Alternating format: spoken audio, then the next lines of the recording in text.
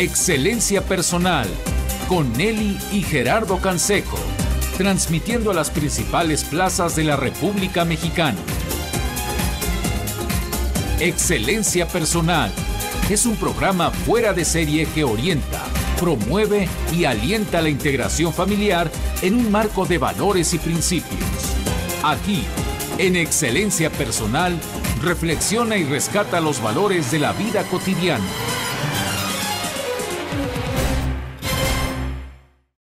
Tal amigos? Bienvenidos a su programa Excelencia Personal. Los saludamos con el gusto de siempre desde el estudio Excelencia. Hoy amigos los invitamos a escuchar atentamente al licenciado Gerardo Canseco en paz descanse, quien nos compartirá un programa in memoriam. Son de estos programas enriquecedores, llenos de contenido, llenos de reflexiones, de sentido de la vida, donde estoy seguro que sin duda aprenderemos muchísimo acerca de cómo ser mejores personas, cómo ser mejores padres. Eh, antes de pasarles el micrófono a los colaboradores de hoy con el licenciado Gerardo Canseco, ¿qué les parece si los invito a visitar nuestra casa electrónica? Su casa electrónica, excelenciapersonal.org.mx y lo mismo si necesitan eh, proponer algún tema, cualquier duda, cualquier comentario que nos quieran hacer a Nelly y un servidor, por favor contáctenos en los teléfonos de excelencia personal 56 82 75 00. Sin más, los dejo con el licenciado Gerardo Canseco. Adelante. Amigos, bienvenidos a su programa Excelencia Personal. Mi querido, querido amigo Gilberto Etienne, qué importante es, qué importante es eh, no descuidar el piso para no tropezar, zapatos que no ven, no, perdón, ojos que no ven, zapatos que pisan muchas porquerías o que se tropiezan en una piedra. Sin dejar de ver la realidad, hay que mantener la mirada hacia lo alto. Claro. Mirar hacia arriba, ¿no? Dicen que cuando el sabio señala la luna, los tontos, los tarugos, nos quedamos viendo el dedo. Así es. Y el sabio lo que nos está señalando es más allá. Más allá y muchas veces la vida nos canta alrededor y las, los hechos, los acontecimientos, las personas, el amor, nos habla de cosas y nosotros nos quedamos estacionados ahí, en lo más fácil, en lo más cómodo, en vez de trascender, en vez de ir más hacia allá, hacia donde verdaderamente el amor nos indica. Duc in altum. Exacto, el amor. Navega, navega en lo profundo. ¿no? El amor es, es tibieza, es tibieza y nos, que, nos gusta quedarnos en la tibieza. ¿El amor? El amor es tibieza en vez de con osadía ir más allá. El amor es fuego, no tibieza. Exacto, pero yo digo, Y nos, gusta quedarnos en la tibieza en vez de ir más allá. Es más fácil amar, por ejemplo, a, a los niños de mi familia que ir a buscar a los niños de la calle, ¿verdad? Como que es más fácil. Para dar algo. Para Sí, dar afecto. yo estoy amando, ¿no? ¿Qué me puedes decir si yo amo tanto a mi familia? ¿Qué me reclamas? Pero vamos, tengo que ver más allá si quiero, ¿no? O sea, aquí todo es sugerido, aquí nadie te va a dar instrucciones ni indicaciones. Finalmente tu vida tú la manejas, finalmente tú eres el responsable de tu felicidad. Si tú crees que la felicidad te va a venir incluso de Dios, te equivocas. En algún programa contigo, Gilberto Etienne, anterior a este, eh, terminábamos eh, destacando el primer paso de los grupos, de, de- de los programas de los grupos de recuperación y el séptimo paso, es decir, reconocer nuestra impotencia ante cosas que no hemos podido resolver, el primer paso, y el séptimo paso, pedir humildemente, pedir humildemente al poder superior que nos libre. Pero fíjate que antes del séptimo paso está el sexto, el sexto paso que, que es antes, antes de, y antes de pedirle a Dios que nos elimine esos defectos de carácter, dice el sexto paso que estamos en disposición. de recibir. Exactamente, estamos en disposición de que Él nos elimine esos defectos. O sea, tenemos la voluntad, Ger. ¿Sí? Eh, eh, Nosotros nos ponemos en disposición. Y entonces el séptimo paso es ya que estamos en disposición, que estoy dispuesto a lo que sea con tal de salir de lo que yo soy hasta hoy para hacer algo mejor.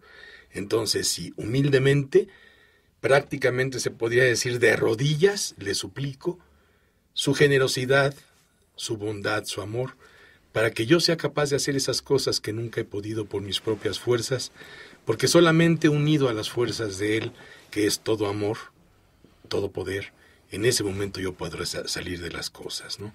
¿Cuántos esfuerzos inútiles he hecho en mi vida creyendo que con mi fuerza, con mi capacidad, con mi inteligencia voy a salir de los problemas, creyéndome fuerte, creyéndome este casi casi este invulnerable? ¿Y cuántos fracasos he tenido que padecer? Cuánta soledad y cuánta tristeza al darme cuenta, desesperado, lleno de desesperación, a punto incluso del suicidio, de que yo soy limitado, que yo soy impotente ante tantas cosas y que mi problema es que esa impotencia es falta de poder, de un poder superior a mí, de un poder que todo lo ilumina, que a todo le da sentido, que todo lo llena de luz, de ese poder que yo he venido siguiendo, muchas veces en la oscuridad sin saber qué buscaba, pero finalmente, gracias al dolor, gracias a la desesperación y a todo eso, un día se hizo presente manifestándome todo su amor. Pero cuidado, ¿eh? porque un Jean-Paul Sartre, pensador inteligente, cae tanto en el abatimiento que su mirada se fija hacia abajo y describe al hombre como una pasión inútil. Sí, sí, tenía tantos ideales en su juventud como tantos otros, pero al ver que se rompían esos ideales, no pudo sostener la mirada hacia lo alto y terminó diciendo la vida el hombre es una pasión inútil. Es decir, ya no hay esperanza. Y muchas veces el desempleado, el que sufrió injusticia, el que fue despojado de la honra, el que fue calumniado, al que le quitaron la chamba, padece tanto buscando sin encontrar que tiene el grave riesgo de victimizarse, de desesperanzarse y de creer que no hay salida. En cambio, el que todos los días sale a buscar, a buscar, a buscar, sin tregua, sin cansancio y sin descanso, a buscar, encuentra. Bueno, mira. Por eso hay que mirarse arriba, ¿no? Sí, pero es de eso que estás tú diciendo. Es, fácil decirlo. Una vez recuerdo que estaba yo en misa. Pero no te lo digo de pura teoría, ¿eh? Estaba yo en misa. Tú lo sabes. Y este, yo lo sé. Y entonces el padre estaba hablando y entonces unas personas de hasta atrás, ¿no? decían, no se oye, no se oye, ¿no? Como diciendo que se acercara más al micrófono. ¿Sabes qué dijo el padre? No se hagan güeyes. Bueno, no dijo el padre así, no, no, Bueno, ¿no se oye o es que no quieren oír? Es lo que dijo, ¿no? ¿Y sí se oía? Bueno, no sé, de ellos decían que no se oía, pero el padre hizo el juego de palabras, ¿no? No se oye o es que no quieres oír. Es que muchas veces, bueno, pues uno, uno le pide a Dios, uno le pide a Dios, pero uno no hace nada espérate, maestro, ¿quieres chamba? Pues sí, pero pues no te dediques nada más a, ver el periódico y rezar. Sal, busca, pregunta. El que busca encuentra. Claro. Ahora, mira, el cuento que, que siempre les cuento a mis cuates y que ya te lo he contado a ti, de ese que le va, de ese discípulo que va a ver a su maestro, a su gurú, y va y le dice, maestro, vengo a que me ayudes a encontrar a Dios, ¿te acuerdas? No, a ver, a ver. Y entonces el maestro le dice, sí, cómo no, ¿no? Claro que sí. Y este, ¿qué te parece si salimos al jardín, al campo, ¿no? Que estaba un día precioso, ¿no? Para que platiquemos allá afuera en el campo, ¿no? Sí, maestro, pues el discípulo, ya sabes, pues es manso, ¿no? Es obediente. Y se va atrás el maestro y salen al campo y estaba un río precioso, mano. Así fresco. Cristalino. Exacto. Y le dice, maestro, vamos a refrescarnos en el río. Y entonces se mete el maestro. Para esto el maestro era un cuate como de uno, como, como de dos metros de alto, ¿no? Y fuertísimo. Un Gilberto Etienne cualquiera. y el discípulo era chaparrito, chaparrito y flaquito. Uy, un Gerardito cualquiera. Uy, sí, cómo no. Y entonces se mete el maestro al río y ahí va el discípulo atrás de él. Y ya que están adentro del río, ¿qué crees que hace el, maestro? Pesca del cuello al discípulo y lo sumerge en el agua y lo empieza a ahogar. Y este cuate braceaba y pataleaba, pues estaba ahogando. Y, estaba desesperado, se estaba muriendo, se estaba ahogando. Y ya que estaba a punto de ahogarse, lo saca el maestro, ¿sí? Y este cuate jala aire y empieza a toser, ah. etcétera, ¿no? Y se sale por el lodo, por la orilla del río, obviamente mentándole la madre al maestro, ¿no? Pero mentalmente. Sí, sí, sí, este, no, no, con palabras, ah, ¿no? Sí, ah, como no, pues, oye, ¿tú qué hubieras hecho? No, al maestro. No, no ¿cómo de qué no? Al maestro con cariño. Sí.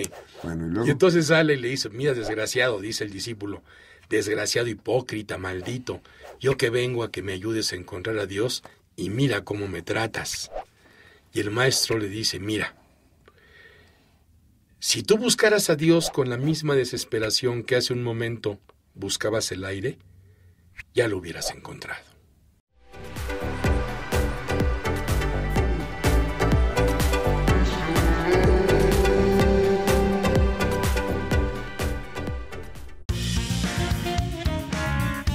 Excelencia Personal te ayuda a recuperar tu salud y tu energía. Con nuestro paquete post-COVID, recupera tu masa muscular, repara y protege tu sistema digestivo. Con esto encontrarás mayor vitalidad y fuerza. Comunícate y adquiérelo.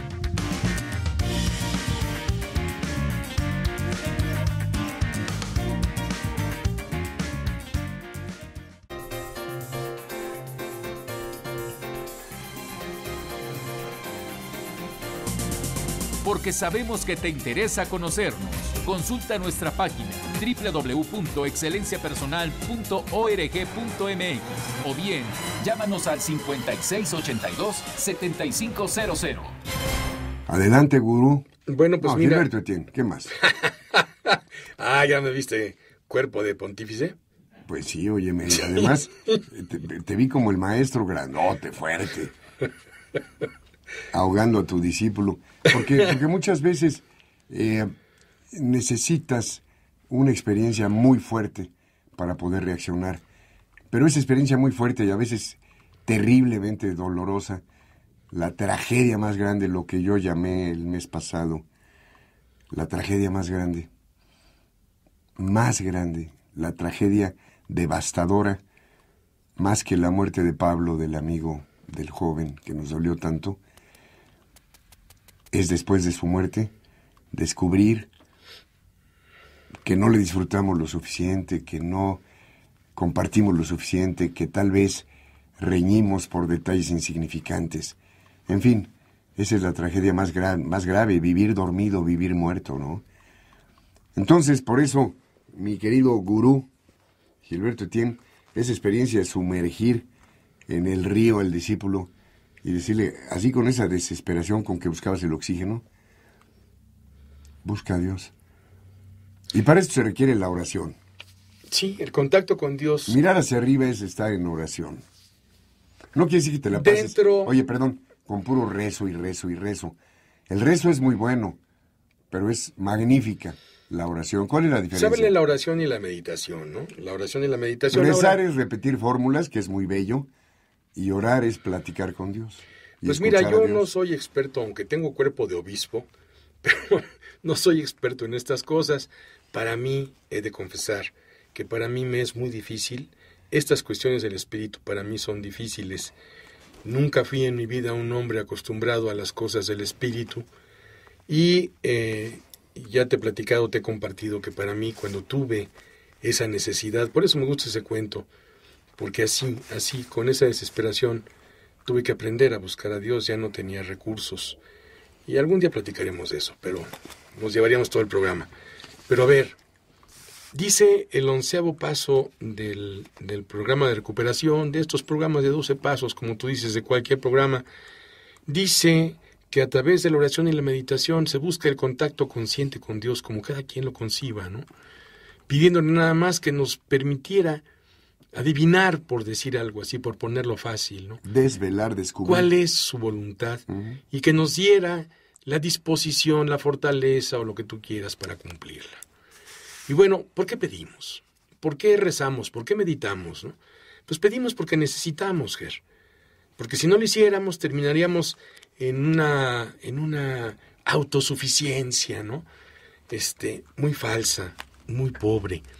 El creer que nosotros somos los que vamos a hacer con nuestras fuerzas o con nuestra capacidad aquello que nunca pudimos. ¿Por qué pedimos? Porque reconocemos humildemente que no somos, no somos Dios. ¿sí? Que muchas veces, aunque nos hemos sentido Dios y aunque creemos que con nuestra fuerza o nuestra inteligencia podemos lograr las cosas, de un momento en el cual la derrota es necesaria, ¿no? Eh, si tú quieres, bueno, gran parte de esa relación con el Dios que cada quien comprende se define por la petición, por pedirle, ¿no? Por ponerse ante Él con humildad y solicitarle algo que necesitas, ¿no? Y bueno, el resto de esa relación con Él se basaría yo creo que en el agradecimiento, en la gratitud por todas aquellas cosas que nos ha dado, por todo ese amor del que nos ha rodeado, a pesar de que estoy tan ciego que no me doy cuenta de todo el amor que estoy rodeado. Qué triste es creer que la gente no te quiere, que el mundo te ha dado la espalda, cuando las manifestaciones de amor son enormes, ¿no? El amor de Dios es gratuidad, es no necesito hacer ningún mérito para tener el amor de Dios, ¿no? Yo siempre digo que es como la sombra de un árbol. El árbol da su sombra con gratuidad. Igual le da la sombra al millonario, que se la da al más pobre entre los pobres, que se la da a un leproso, que se la da a un ladrón o a un hombre santo. Y sabes que incluso el árbol le da su sombra al leñador que lo está talando. Y bueno, pues ese es el sentido del amor de Dios, ¿no? Pedir eh, a través de la oración, yo creo que nos hace humildes y sobre todo, bueno, a Dios le ha de otorgar, yo no soy experto en estos temas, ¿no? Pero a Dios le ha de otorgar esa oportunidad de mostrarnos, de mostrarnos su paternidad, ese amor de padre, de papá, de papá generoso, de papá eh, bondadoso, tierno, amoroso, comprensivo, ¿no? De dejarnos conocer su amor, el sentido de su amor. Fíjate, Gilberto Etienne, que, eh, bueno, tú y yo y muchos radioescuchas eh, admiramos y disfrutamos mucho de las conferencias que tenemos grabadas y de los libros que tenemos subrayados y con anotaciones al margen de Anthony de Melo. Ah, ya. La espiritualidad de un jesuita católico hindú que enriquece la espiritualidad de Ignacio de Loyola con la espiritualidad de muchos aspectos del Oriente, particularmente del hinduismo. Sin embargo, no en todo estamos, bueno, yo no en todo estoy de acuerdo con él.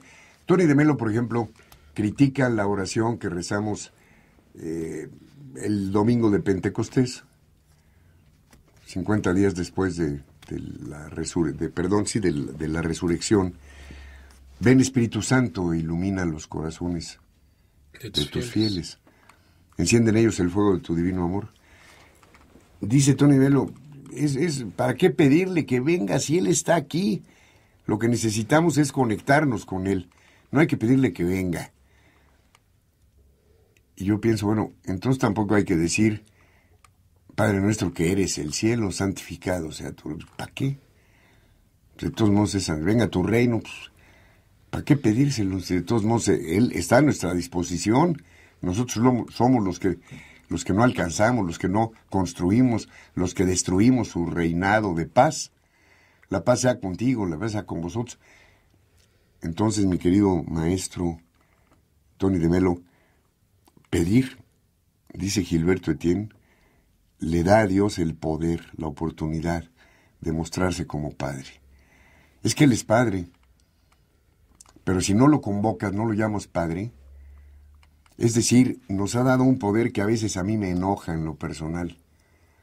A los seres humanos nos ha dado un poder que está por encima del del. Ah, caray, qué blasfemia. El poder de nuestra libertad. Podemos bloquear la voluntad amorosa de Dios. Por eso, aunque Él nos quiere, y aunque aquí está el Espíritu Santo, al convocarlo, tomamos disposición para recibirlo, ¿no? Sexto y séptimo paso. Mira, yo creo Primero hay que estar dispuesto, hay que pedir, para después poder recibir. Estoy de acuerdo. O sea, las personas que tienen conocimientos al respecto de estas cosas de la fe, yo estoy de acuerdo que lo vean y lo hagan como, pues como les nace, como lo creen, como lo han estudiado, ¿ok? Pero darle permiso a Dios. Pero mira, ¿sabes qué, Ger? perdón que lo diga y a lo mejor va a sonar muy feo, pero al jodido, mano, al que tienes hambre de Dios, no le pidas fórmulas, mano. Hay un cuate, hay la un cuento, no es de fórmulas. Hay un cuento que habla de dos hombres que están muriendo de hambre y de sed en el desierto. Y entonces, ya en el último esfuerzo, en la agonía, al borde de la muerte, cruzan una duna arrastrándose y abajo ven una tienda de, de campaña de esas de los sheiks, de como de Arabia, ¿no? Una tienda de esas de, de los príncipes emires árabes, ¿no? con un buffet instalado. Imagínate, un buffet más fregón que el del mejor buffet que hayas probado. Bueno, el buffet instalado ahí, ¿no? Uy, mano, imagínate para estos muriéndose de hambre y de sed, ¿no? No, hombre, pues como pueden los pobres arrastrándose, llegan al pie del buffet y uno de ellos empieza a decir, oh, qué maravilla, esto es un filete strogonoff. El filete strogonoff se hace con esta parte de la res y además se tiene que meter al horno y se pone con una pasta así hojaldrada y bla bla bla y se riega con el jugo de esto. Esto de acá son unas fresas jubilé. Las fresas jubilé se hacen de esta manera con azúcar y se flamean con coñac y esto de acá es una crème brûlée y esta la crème brûlée y, y dice esto es un vino este merlot cosecha 64, el merlot por su acidez y su tanino, y está explicando y se cae muerto el güey Pues de hambre. El otro pobre llega y no se pregunta nada. Simplemente le cae, mano. Como digo yo, atascate, ahora cae lodo, ¿no?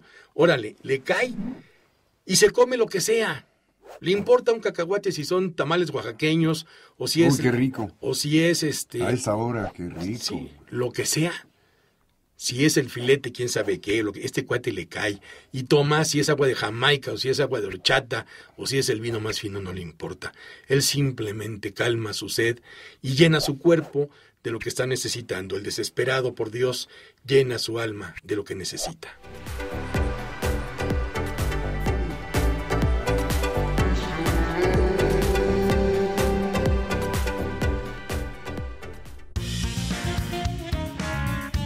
Tenemos paquetes para toda la familia. como el que sirve para reforzar tus defensas. Te ayudará a proteger tu organismo, cuidarlo y fortalecer tu flora bacteriana. Contáctanos. Todos nuestros paquetes tienen desde el 20 hasta el 30% de descuento.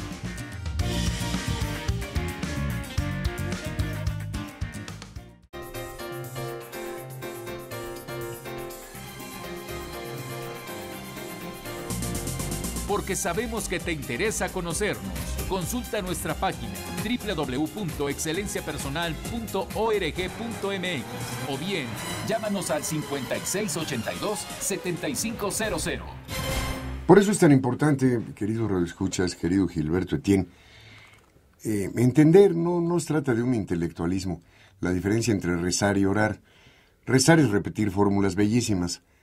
Orar es hablar desde la profundidad, es degustar el buen vino y la buena comida, desde lo más profundo y honesto de tu corazón.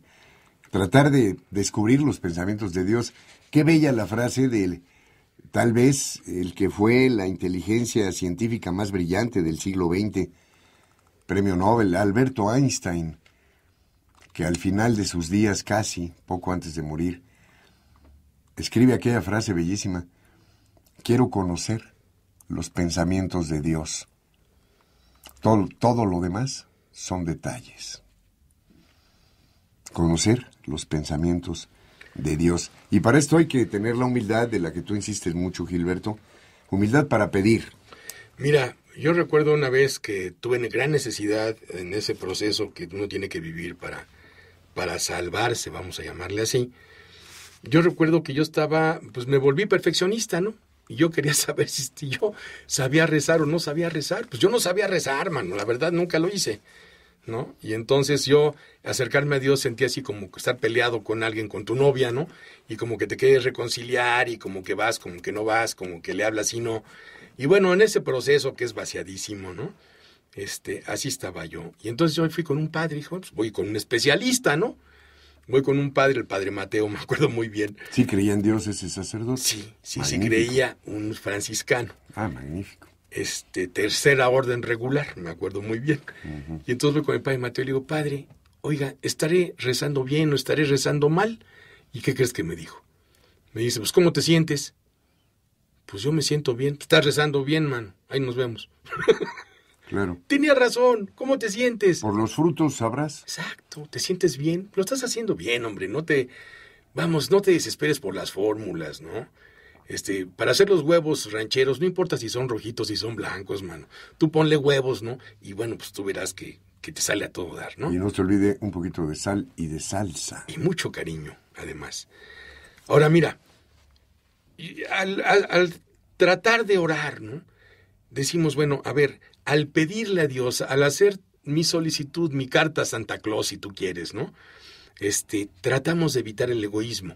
O sea, trato de sacar de esa oración, como yo lo entienda, el, mi egoísmo, mi soberbia, mi avaricia, mi envidia. O sea, trato de sacar, porque muchas veces yo le pido a Dios cosas que no me van a hacer bien. Inclusive el amor de Dios se demuestra cuando no me concede ciertas cosas, Ger. Como el amor de los papás. Sí, no, pero se que, no es, que no es hacer hijos caprichudos. Exacto. Como por ejemplo, yo a veces le, pediría, Señor, dame dinero. Pues si él sabe que me voy a reventar el hocico con el dinero, pues qué bueno que no me lo dé, ¿no? Señor, que yo me saque el melate ahora que ha habido tanto dinero en esas cosas, ¿no? ¿Te imaginas?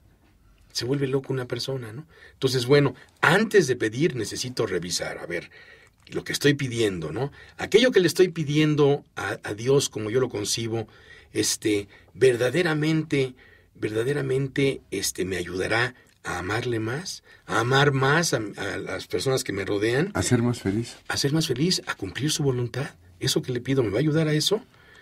Y entonces cuando yo aprendo a sintonizar mi voluntad con la voluntad de Dios, pues obviamente mi petición yo creo que estará mejor encaminada. Claro, porque cuando decimos en el Padre nuestro, hágase tu voluntad, así en la tierra como en el cielo, pues sí se hace su voluntad. Sí, aunque yo no quiera, ¿eh? Aunque yo no lo pida, pero mejor trato de sintonizarme.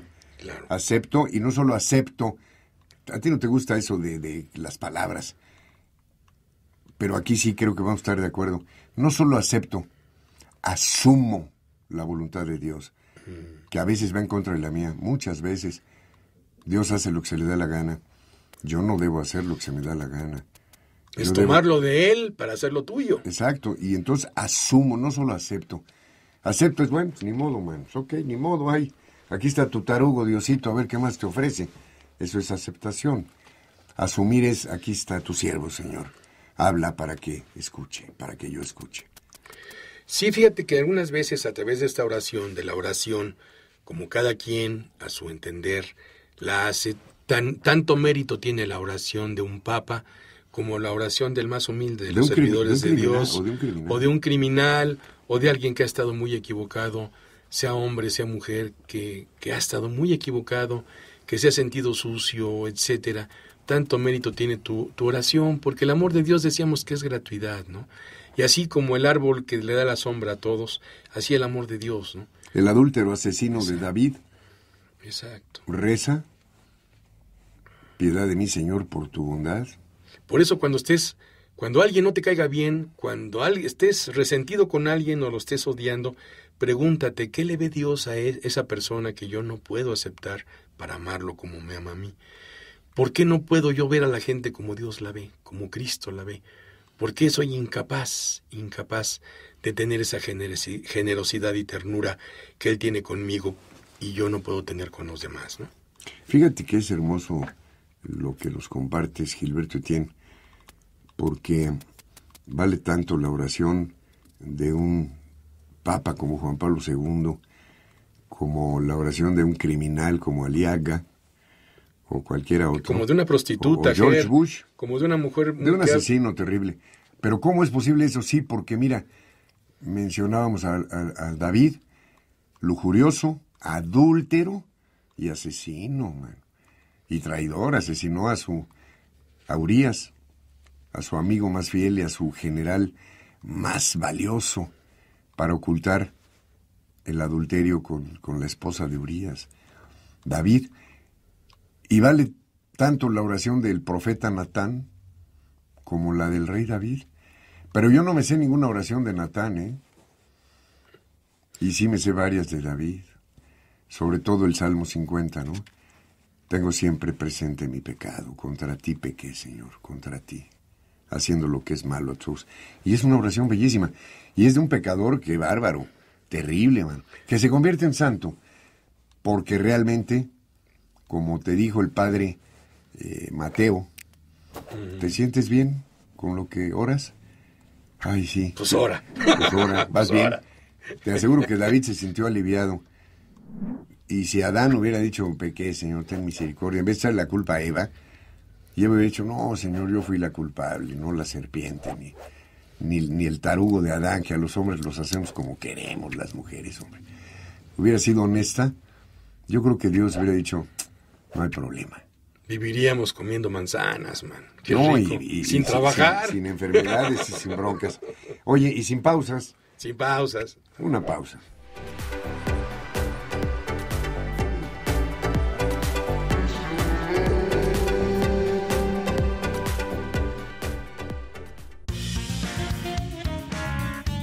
Si te sientes cansado y con poca fuerza, lo que necesitas es nuestro paquete Vitalidad Total. Este lo diseñamos para ayudarte a tener energía y vitalidad, especialmente con un multivitamínico completo, proteína que incluye enzimas y nutrientes esenciales y probióticos para desintoxicarte. Además, las enzimas asegurarán una buena absorción de nutrientes y una buena digestión. Visítanos o llámanos. En Excelencia Personal estamos para servirte.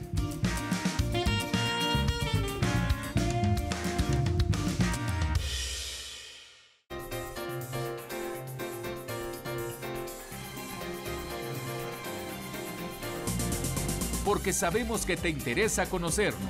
Consulta nuestra página www.excelenciapersonal.org.mx o bien llámanos al 5682-7500. ¿Qué más, don Gilberto Etienne? ¿Qué más nos compartes en relación con esto de, Le de la oración? Orar, orar es mirar hacia arriba. Fíjate que, hablando de que la oración venga de quien venga, ¿no? Es, yo digo que es un regalo para Dios y un regalo para uno. Le preguntaban a Cristo, a aquellos que pues, eran medio malvadillos, ¿no?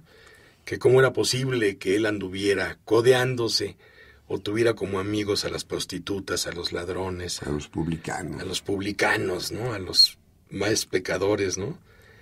Y él contestaba, pues sabes qué, mano, pues es que so- ellos son los que me necesitan, ¿no? Los hombres buenos, aquellos que son muy santos y muy justos, O y los que lo se tú creen muy quieras, pues ¿para qué, no? Yo ando con aquellos que me necesitan. Y bueno, ay, No he venido a sanar a los sanos, sino a los enfermos. dentro de los grupos de autoayuda, ¿no? A veces nos reímos mucho porque decimos, miren nada más, en manos de quién vino a poner Dios la tolerancia. De aquellos que hemos enloquecido en la vida y que hemos hecho tanto daño, ¿no? En manos de quién vino a poner este el amor. El amor, el amor a partir de la miseria. Porque es a partir del dolor profundo cuando tenemos conciencia, cuando le pedimos a Dios esa humildad para aprender, entendiendo que no lo sabemos todo, que mientras más sabemos, más descubrimos que nada sabemos. A partir de esa humildad puede surgir el don de la sabiduría. Y ¿El bueno, don de la sabiduría? Siguiendo con esta oración, Ger, Pues sí. este, pues podemos, yo puedo pedirle a, a Dios, como yo lo entiendo, ¿no? El, el sanar de una enfermedad o, o pedir por la salud de alguien que está enfermo, que está muy grave, alguien que amo, ¿no? Que se encuentra mal. Pero fíjate bien, ¿no? El concepto de esa petición es comprender, ¿no? Que si los planes de Dios son otros, muchas veces misteriosos, desconocidos e incomprensibles para nosotros, bueno, pues entonces rogaré, como, como lo hacemos muchas veces, ¿no? Que nos conceda serenidad, que me conceda serenidad para aceptar las cosas que no puedo cambiar, para ser paciente ante el dolor. Le rogaré que me conceda el valor para servirle mejor a quienes sufren y esa sabiduría que también le pedimos en la oración de la serenidad para encontrar los frutos que el alma necesita frente a las cosas que no nos gustan, que nos son contrarias, ¿no? Dentro de los planes de Dios, esos caminos desconcertantes y misteriosos, ¿no? Que no entendemos, es la aceptación, Ger, ¿no? De su voluntad, de su voluntad, ¿no? Y estar de acuerdo y decir, sí, Padre, va, ok, no me gustó, no me parece bien, le tengo miedo a la muerte, no quisiera perder esta persona, no quisiera perder esta oportunidad, pero si tu voluntad es por ahí, te digo que estoy de acuerdo, porque todo lo que me has dado ha estado bien, y todo lo que me ha pasado en mi vida ha sido lo mejor que me pudo haber pasado. Entonces, estoy de acuerdo, ¿no? Y bueno, la primera condición de toda petición es, como decíamos, ¿no? Conformar primero mi voluntad con la voluntad de Dios, ¿no? Pero O sea, ¿cómo conozco la voluntad siempre, de Dios? siempre decir, no se haga mi voluntad, sino la tuya, Exacto. Tomando ese ejemplo en el huerto de los olivos, ¿no? Sí. Si es Así posible, como decía, ¿no? Si Aleja de mí este cáliz. pero no sea mi voluntad, sino como tú quieres, la voluntad tuya, Padre. Sí. Oye, es que a veces hay adversidades. Quiero pensar en, en este chico joven que estudiando con las hallistas y ante su padre agonizando, teniendo él apenas ocho años, un niño, le habían dicho que lo que pidas en mi nombre, en nombre de Jesús, se, se será concedido. Pero era un niño pequeñito y se enojó muchísimo con Dios porque papá murió. Y oye, yo pedí en tu nombre, caray. No cumpliste. Es que no es fácil, es fácil decirlo. Pero ¿cómo lograr en la viuda, en el huérfano, la aceptación de lo inaceptable? ¿Por qué es inaceptable para la naturaleza humana cierto grado de adversidad? ¿Por qué, decía Betushka en un programa de radio en allá en XW, decía, ¿por qué muere el niño, que es una flor que se abre a la vida, y no muere el anciano, que ya pide descansar? ¿Por qué? ¿Por qué? ¿Por qué? Y buscamos los porqués. Y a Ahí veces, va la respuesta. Y a veces no encontramos ni, ni los para qué. Pero entonces me encanta lo que nos ha compartido Gilberto Etienne. Ahí está asumir la voluntad de Dios. Es decir, la primera condición de la oración es pedir, pedir lo que creemos necesitar, pero más bien pedir, hágase tu voluntad, Señor, porque tú eres el único, aunque yo no entienda de qué manera la orfandad o la viudez puede ser un bien, nos has dado el poder de convertir en bien aquello que es malo, como explica bellísimamente Rosita Argentina en su precioso libro, en su más reciente libro, que estoy empezando a leer. Gilberto Etienne. Bueno, mira, ahí te va más peor. ¿Cómo aceptar esas cosas que no nos gustan, que nos pegan duro? Y no solamente aceptarlas, cómo sonreír frente a ellas. Ahora, cómo no perder mi alegría, cómo no perder mi entusiasmo, cómo no perder mi paz ante esas cosas. Bueno, la respuesta se dice, se dice fácil, no es tan fácil, ¿no? ¿Por qué esto? ¿Por qué a mí? Y la respuesta es, ¿por qué no? ¿Quién eres tú para que las cosas que le suceden al ser humano no te sucedan a ti?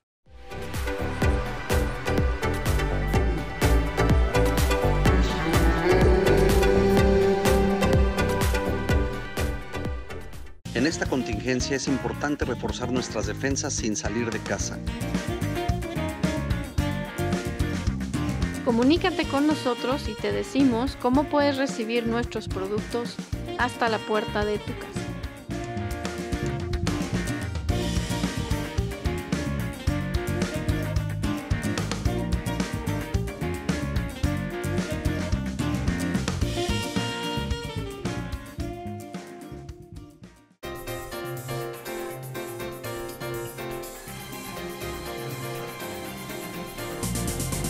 Porque sabemos que te interesa conocernos.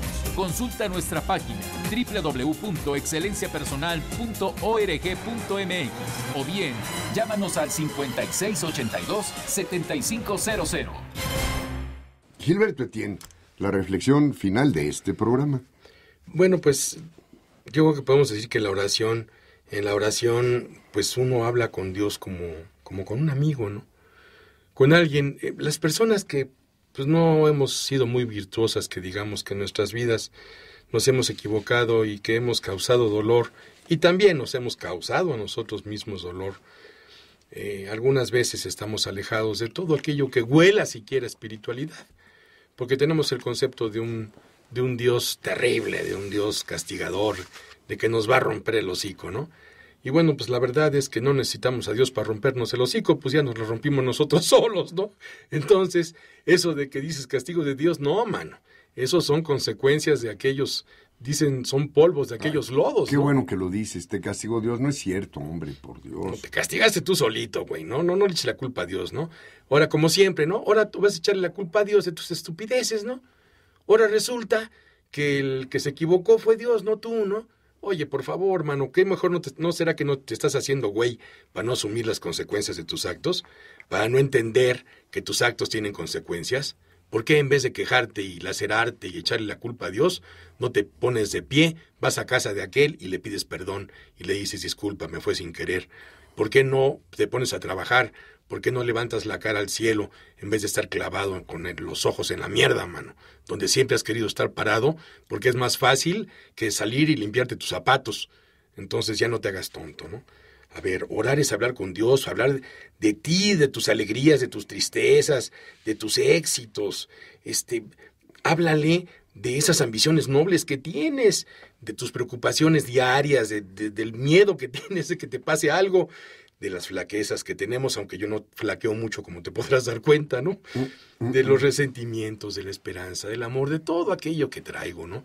Oye, mano, ¿no te puedes acostar en la noche un ratito en paz y sentir cómo se mueve tu cama cuando se sienta en el borde? Ese poder superior amoroso, ese padre tierno, ese padre comprensivo, ¿no? Cuando Él está presente todo está bien. Entonces, mira, oración, hacer oración es conocerlo, es conocerte, es conocer a los demás.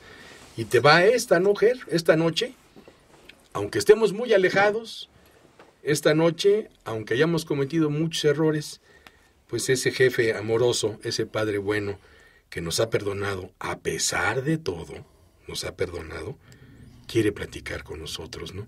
Ojalá que paremos oreja para ver qué nos quiere decir. Él sí va a parar oreja para lo que yo le quiera decir, ¿no?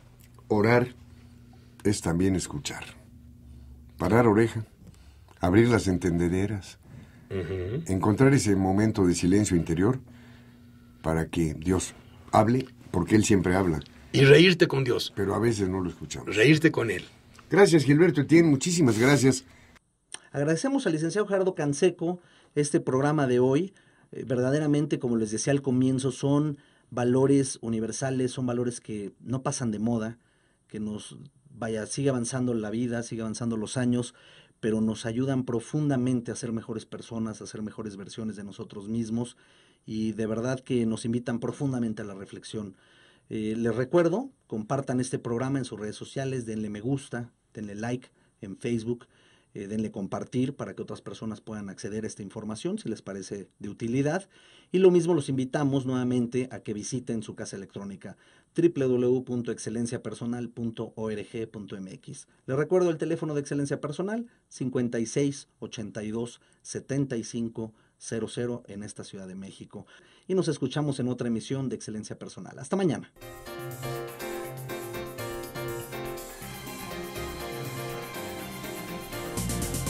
Excelencia Personal. Te esperamos mañana a las 2 de la tarde para continuar creciendo en familia con Nelly y Gerardo Canseco. Excelencia Personal es una producción de calidad en tu vida.